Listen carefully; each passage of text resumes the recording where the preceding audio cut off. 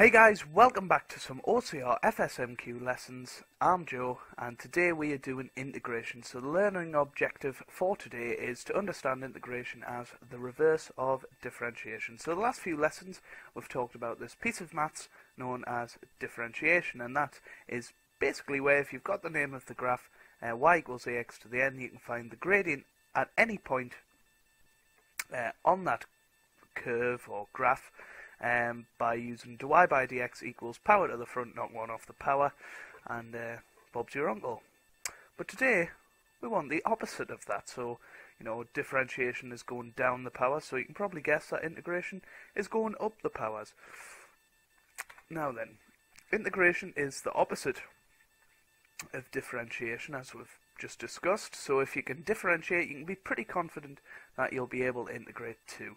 Just remember one thing, the constant of integration. Now that's something that's frequently forgotten about, um, you know, even at year 13 level, you know, we always, well not always, but sometimes forget about the constant of integration. It, it, it gets drilled into you eventually and it just becomes second nature. So, to integrate a piece of algebra, if dy by dx equals x to the n, so that is uh, the derivative of a of a curve or a graph, then the integral, uh, that that curly s there, the integral of x to the n with respect to dx equals uh, x to the n plus 1 over n plus 1 plus c. So let's talk ab about this now. That's the name of the graph which has been differentiated. That is integrating with respect to x. You can do it with uh, t, uh, with respect to t, or any letter if if this letter here is different. Uh, that is the letter that we integrate with respect to. And here we go, x to the n plus 1 uh, over n plus 1. Add 1 to the power, divide by the new power is what you what you say really. So if that was a 1, I'd add 1 to the power, that would become 2, and I'd divide by that new power, which would mean dividing by 2, or halving it. And that little plus c is just the constant of integration, that's what we call it.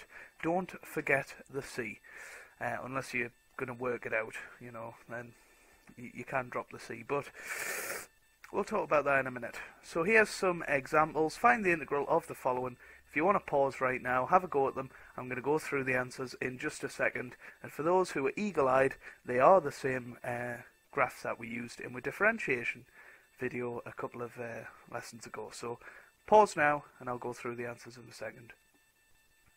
Right, so hopefully you've had a look at it, um, and you know done some wonderful maths. But uh, yeah, let's add one to the power. You get three. Divide by that new power you get 3, and 3 over 3 is just 1, so we just call it an x cubed, and don't forget the c. So power 2 rises to power 3.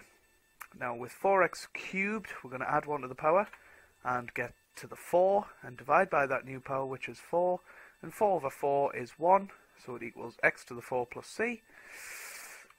Power 3 rises to power 4. Here we go again. 12x to the 5, so it's going to become 12x to the 6. But divide by that 6, and 12 over 6, remember, is 2, so we call it 2x to the 6 plus c, and so on, and so on. Imagine that again as an x to the 0 there.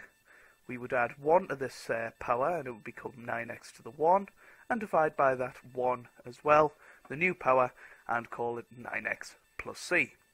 So power 0 rises to power 1. Let's do an example. Remember that C that we were adding? Well, sometimes you ask to work out what that fella is.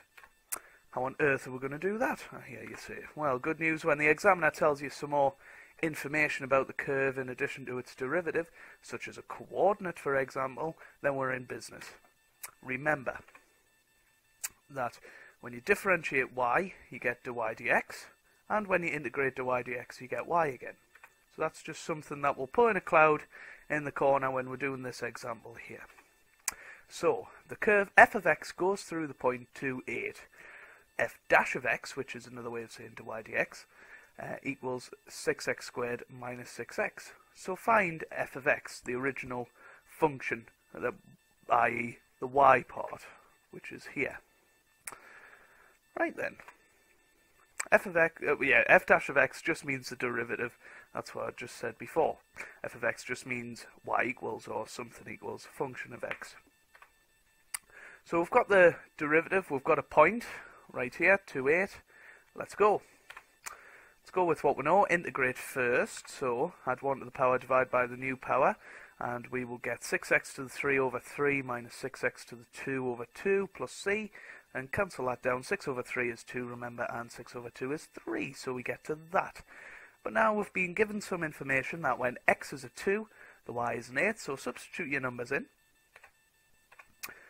There you go, that's just basically what I've just said. And there we go, I haven't animated this, so we'll go through it. Everywhere I've uh, I see seen an x, I replaced it with a 2, so it's 2 lots of 2 cubed minus 3 lots of 2 squared plus c, so you end up with 8 equals 16 minus 12 plus c, so 8 equals 4 plus c.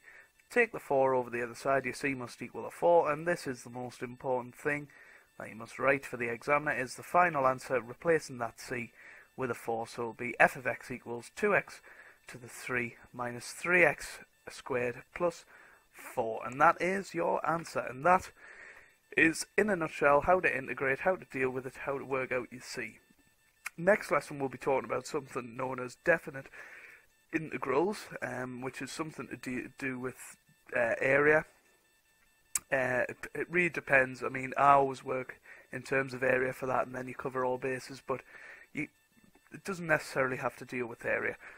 But that's next lesson. I hope you guys have found this um, helpful. Integration is a wonderful piece of mathematics, and uh, we'll talk about it more and more in the coming weeks in this calculus section, which goes on to kinematics eventually, which is mechanics 1 and mechanics 2 at A level. So it's pretty hard stuff.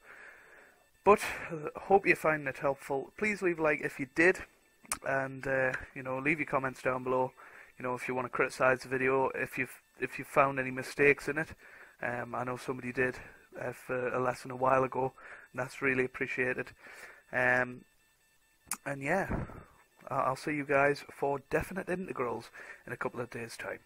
See you later.